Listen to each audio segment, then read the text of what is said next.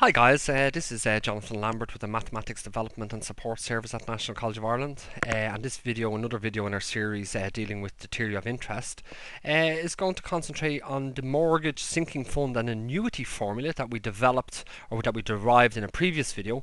And more importantly what we're going to do is we're going to do a mortgage calculation example okay? Uh, but I suppose before we can do that calculation I probably need to give you a little bit of information about the scenario. So let's say the scenario is something like this or a scenario okay so the scenario is, let's say uh, you have recently, okay, so you have recently approached recently approached your bank manager to inquire about taking out a mortgage, right? So you have recently approached approached your bank manager, your bank manager, okay, uh, to inquire to inquire about a mortgage, okay? So a mortgage, okay? And the bank manager's asked you a number of questions like how much do you do you plan on borrowing, uh, over what period of years would you like the repayments to uh, to be made over, uh, and things like that. So let's say for argument's sake, uh, you need you need to borrow. Let's say, for argument's sake, you need to borrow 425,000 euros, okay, for, for, for a house, okay, uh, and you want to take it out over over a period okay, over a period of 30 years, okay, let's say for argument's sake. And let's just assume that prevailing uh, prevailing interest rates interest rates, okay, uh, are estimated are estimated uh, to average to average, let's say for argument's sake, 3%. Okay? And the question that you want to answer is what will your annual what will your annual repayment repayment okay? What will your annual repayment be on the mortgage okay? So there's a very straightforward question. You know what you want to borrow in this case, you want to borrow 425,000 euros. You know for how long you want to take it out over. In this case, you want to take it out over 30 years. And you know the prevailing or the average interest rate that's going to be assumed over this particular period of time. Obviously, this is a little bit unrealistic that the interest rate will remain fixed at 3%. But I suppose you could get a mortgage uh, with a fixed interest rate uh, over a certain period of time. Uh, but more than likely, the interest rate will fluctuate. For, but for this example, we're going to assume a fixed interest rate of 3%. And what we want to know is what will your annual repayments be on the mortgage? Well, first of all, let's have a look at our mortgage sinking fund annuity formula that we derived in our previous example. And um, what it says is that the, the balance in the bank account at any moment in time, okay, n being the moment in time, uh, is equal to a0, okay, that's how much you initially have in your account or how much you initially borrow, times 1 plus i raised to the power of n, okay, where i is the interest rate, n once again is the number of years that you're taking the, the mortgage out for in this case, uh, plus f, where f is the is your annual repayment, f times 1 plus i raised to the power of n, uh, raised to the power of n uh, minus f, okay, uh, all over all over i, okay. So in the mortgage scenario, okay, in the mortgage scenario, let's have a look at what we need, okay. So in our mortgage scenario, okay, there's a number of, uh, I suppose, parameters that are required for this formula to solve it. Uh, an, okay, an is the future, okay, balance, okay, uh, of the mortgage of the mortgage, let's say account. Okay. Now, if you think about it, in the future, you want your mortgage to be paid down after 30 years. So the outstanding amount in the future should be equal to zero. So in this case, we're going to have AN is equal to zero.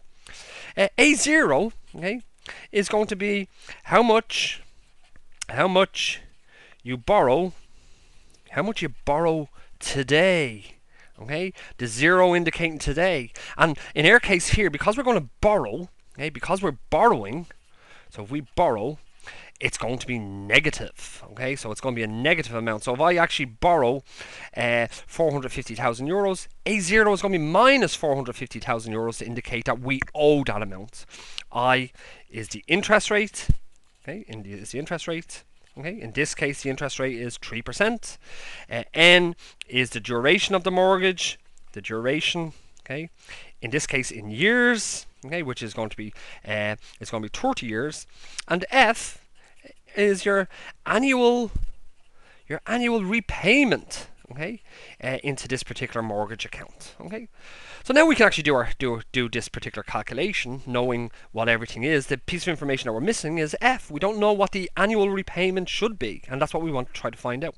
Okay, so let's just fill in all of our information. Okay, uh, so what we'll do once again here is let's just write down our, our parameters that we that we that we need to that we need to understand. Uh, in this case here, we need to understand a n is going to be a value, a zero is going to be a value uh, I, the interest rate, is going to be a value.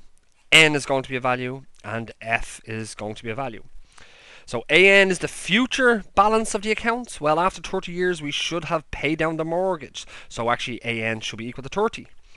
A0 is what we want to borrow. In this case, we want to borrow 425,000 euros. So A0, because we're borrowing, is minus 425,000.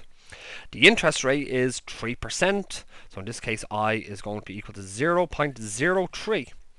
N is the duration of the mortgage. In this case, N is going to be equal to 30 for 30 years. And F is what we want to calculate is what is your annual repayment. So we don't know what F is. So we need to calculate F. Okay. So once again, let's put down our put down our formula.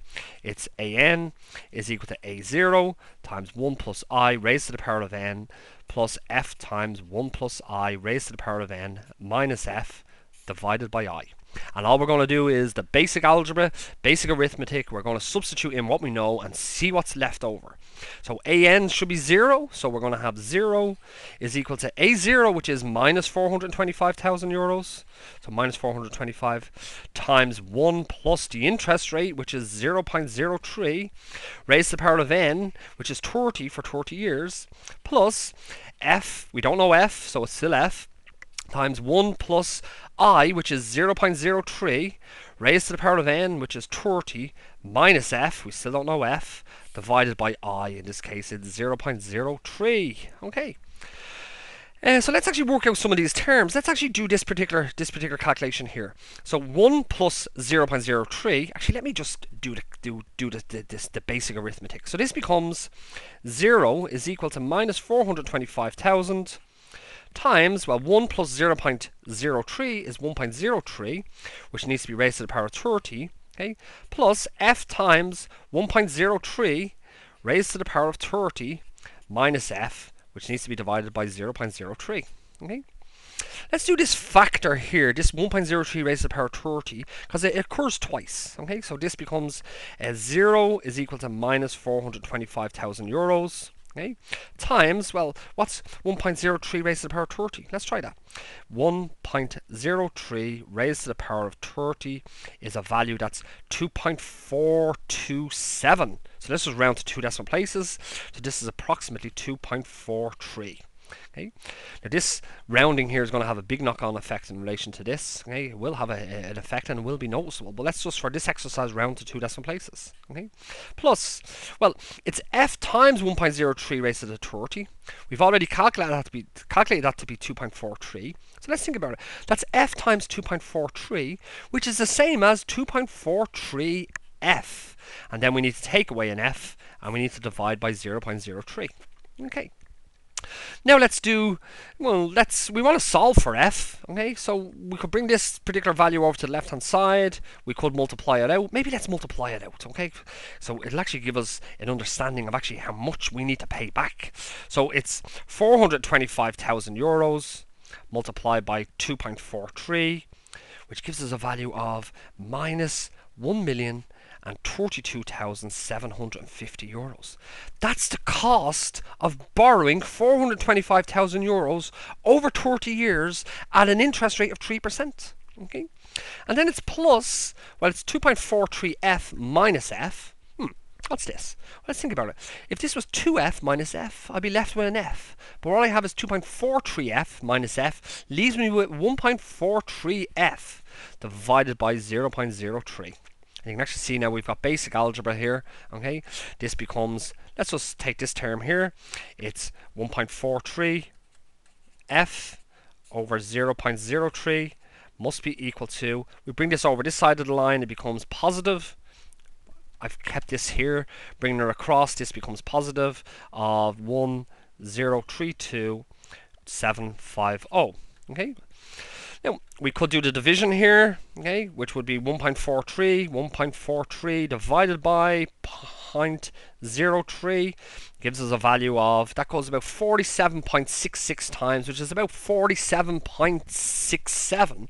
So what we know is, therefore, we have 47.67, that's this division here, okay, F has to be equal to 1032750.